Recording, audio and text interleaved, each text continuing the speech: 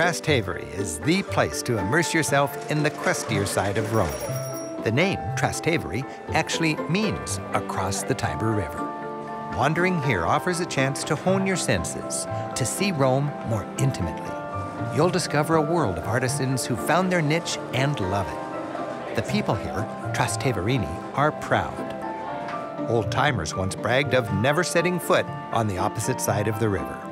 As we explore and observe, the big city seems worlds away. For maximum Trastevere fun and insight, I'm joined by my friend and Roman tour guide, Francesca Caruso. Especially here in Trastevere, you get this sense of the many layers of Rome. Certainly, that is really the key to understanding Rome. This city, in its almost 3,000 years of history, was never abandoned. So people have just built on top and around of what was already there. Like a layer cake, isn't it? Well, there's a beautiful roof garden. Yeah. Now, most of us in Rome lived in apartments, so no gardens, no backyards. So we all dream of the attico con terrazzo. Attico con terrazzo, an attic with a, with a terrace. Yes, so the skyline of Rome is full of these little jungles on the rooftops. Everything's so intimate. It's like, it's like we're walking through somebody's laundry room. Yeah, we've always lived very close together here. Sharing space is really not a problem. We don't even have the word for uh, privacy in Italian. We use the English word instead. We simply roll the R, so we say privacy. Privacy. I know one more Italian word now.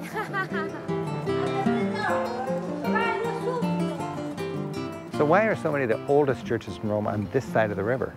Because Trastevere was the neighborhood of uh, foreigners, often Christian, who brought their faith with them. For the whole period of the persecutions, they could not build churches, so Mass would be celebrated in the homes of wealthy converts who offered their homes for Mass. So then this is one of those kind of churches? Yes, it was the House of Cecilia, and in later times they built a church dedicated to her. And today the name of the church? Is Santa Cecilia. Now what happened to St. Cecilia? Saint Cecilia and her husband were killed because of their faith. The Romans tried to steam her to death for three days in her own home, and after that they beheaded her.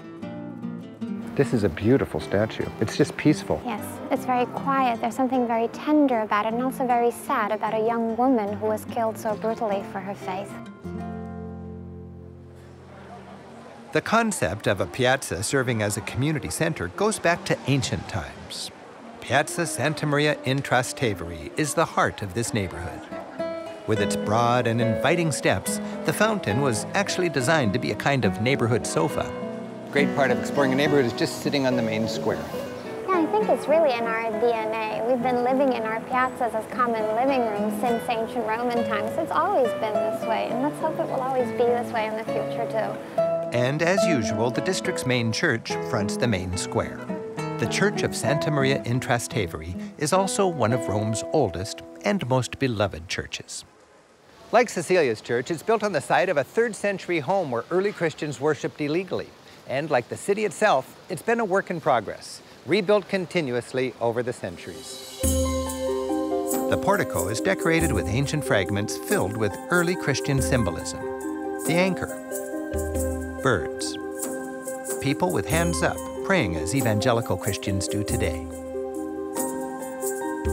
Many of these stones were originally lids to burial niches from the catacombs.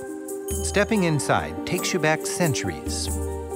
The granite columns were scavenged from ancient Roman buildings. The church feels like an ancient hall of justice.